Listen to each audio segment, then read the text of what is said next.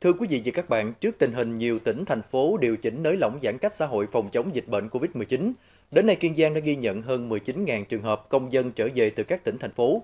Để tiếp tục kiểm soát tốt dịch bệnh, đảm bảo an toàn tính mạng, sức khỏe của nhân dân, Kiên Giang sẽ tăng cường kiểm tra, rà soát chặt chẽ người dân từ vùng có dịch COVID-19 về địa phương, đồng thời chỉ đạo tập trung thực hiện tốt chính sách an sinh xã hội, tuyệt đối không để người dân bị đói. Tính đến sáng ngày 4 tháng 10, tỉnh Kiên Giang đã đón trên 19.000 công dân tự phát bằng xe máy về quê. Để kịp thời hỗ trợ cho công dân về quê được đảm bảo an toàn, Ban Thường vụ tỉnh ủy đã có công điện khẩn chỉ đạo tăng cường lực lượng kiểm tra, ra soát chặt chẽ tại các cửa ngõ của tỉnh để tiếp nhận phân luồng người dân theo từng địa phương và tổ chức đưa về tận nhà an toàn. Đồng thời vận động người dân khi phát hiện các trường hợp từ các địa phương khác có dịch về phải thông báo ngay cho chính quyền địa phương để thực hiện các biện pháp y tế theo quy định. Qua ghi nhận thực tế tại chốt cửa ngõ ở các huyện Tân Hiệp, Châu Thành, Dòng Riền, Gò Quao, những ngày qua cho thấy số lượng bà con về với số lượng rất lớn. Chính quyền các địa phương đã huy động các lực lượng tiếp đón và đưa về khu cách ly tập trung, nhanh chóng phân loại công dân từng địa bàn để bố trí nơi nghỉ tạm thời. Tỉnh đã chỉ đạo tổ chức đón bà con à, công dân Kiên Giang khi về đến các cái chốt cửa ngõ Ờ, của tỉnh. Thì bà con sẽ được ờ, tổ chức khai báo y tế ờ, thông tin cá nhân thông tin về tiêm ngừa vaccine hai mũi, một mũi thì chưa tiêm.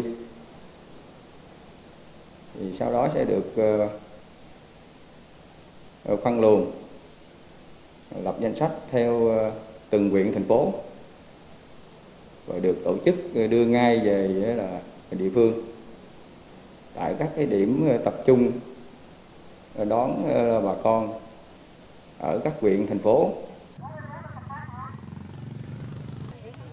Sau khi các địa phương tiến hành phân luồng lập danh sách cư trú thì sẽ tổ chức test nhanh COVID-19, kể cả những người đã tiêm đủ hai liều vaccine phòng dịch COVID-19. Những công dân sau khi có kết quả xét nghiệm âm tính thì được lực lượng cảnh sát giao thông dẫn đường về địa phương cách ly theo dõi tại nhà 14 ngày, được lấy mẫu xét nghiệm 3 lần vào ngày thứ ba, thứ bảy và ngày thứ 14 bằng phương pháp RT-PCR. Khi tự theo dõi sức khỏe tại nhà chỉ được ở trong nhà không được tiếp xúc với những người xung quanh. Nếu có dấu hiệu sốt, ho, đau họng, khó thở, phải báo cáo ngay cho cơ sở y tế nơi gần nhất.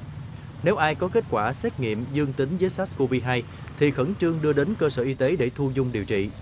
Trong thời gian thực hiện các thủ tục theo quy định, tỉnh Kiên Giang chỉ đạo các địa phương phải tập trung thực hiện tốt chính sách an sinh xã hội, tuyệt đối không để người dân đói.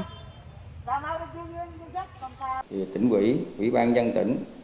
đã chỉ đạo rất ờ, cụ thể, rất rõ ràng. Trong đó phải ờ, đảm bảo thật tốt việc ờ, chăm lo đời sống cho bà con công dân Kiên Giang khi trở về quê đặc biệt là trong 14 ngày cách ly thì ờ, sẽ được ờ, lo đầy đủ lương thực, thực phẩm. Theo thống kê, hiện nay Kiên Giang có trên 105.000 công dân đang làm việc, học tập và lao động tại thành phố Hồ Chí Minh và các tỉnh miền Đông Nam Bộ. Song song với việc tiếp nhận người dân về quê tự phát, Ngày 3 tháng 10, tỉnh Kiên Giang cũng đã ban hành kế hoạch tiếp nhận người dân Kiên Giang trở về từ thành phố Hồ Chí Minh và các tỉnh bị ảnh hưởng dịch Covid-19 đợt 2.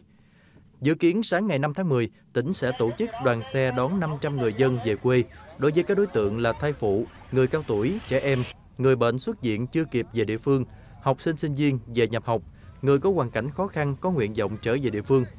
Qua đây nhằm kịp thời chia sẻ với thành phố Hồ Chí Minh đang trong giai đoạn cao điểm phòng chống dịch bệnh Covid-19 đồng thời tạo điều kiện cho người dân ổn định tư tưởng, ổn định cuộc sống.